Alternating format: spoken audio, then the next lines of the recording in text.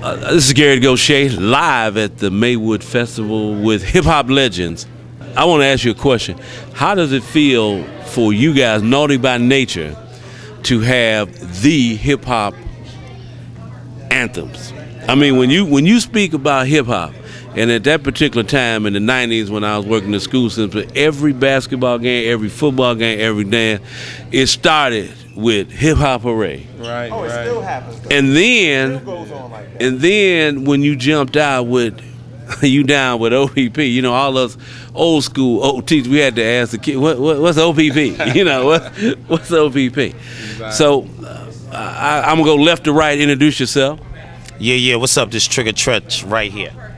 Hey, and I'm Vinny, Uncle Vin Rock. Yeah, what up? This KG. Peace. But I understand you guys just came back from a, a, a trip overseas. You guys went to Russia, you guys went to Australia. yeah. What was that like? It's crazy, man. Every every spot on the earth is a different type of culture, different type of environment, and everything else. Just to go in there and see how much they love hip hop and just know your records, and even if they speak the language or not, they still sing along with every every every lyric and every verse, man. It's a special feeling, definitely.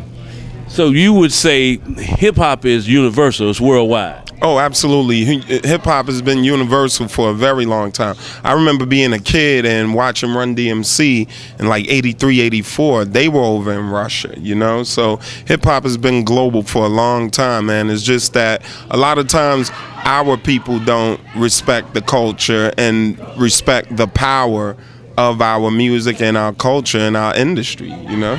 When you guys first jumped out on the scene, did you ever think that hip hop, first of all, would last this long and it would be the worldwide phenomenon that it is?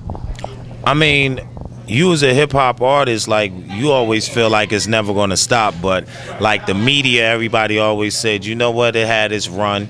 This probably gonna be the last couple of years of hip hop. It's not gonna have long legs. It's not gonna stand long.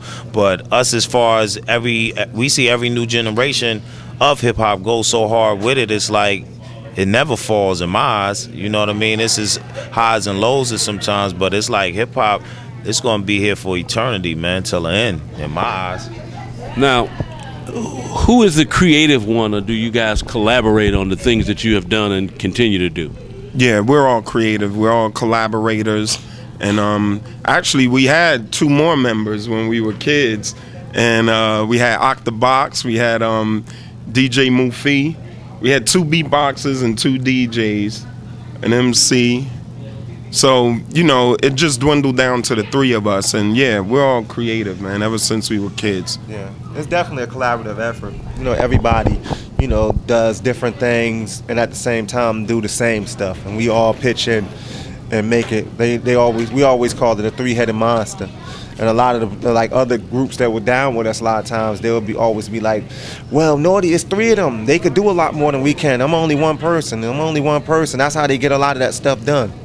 So, Well, you guys have done not only great music, but Mr. Treachy has done some outstanding films. Uh, Jason's Lyric is one of the all-time great movies, and uh, Love and the Bullet. Is that it? Yeah, definitely, definitely.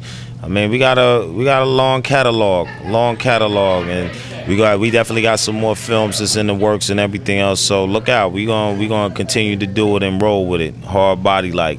We gonna show them what we got. Well, on behalf of the community of Maywood and uh, Shannon Brown and Michael Finley, you know, two NBA superstars, we want to thank you guys for coming out for the first annual. This is the first year that we're able to kick it off, and we know that it's going to be a continued success, and we just are very thankful that you guys uh, came this way and made it happen for all of us and the people in this community. so thank you so much.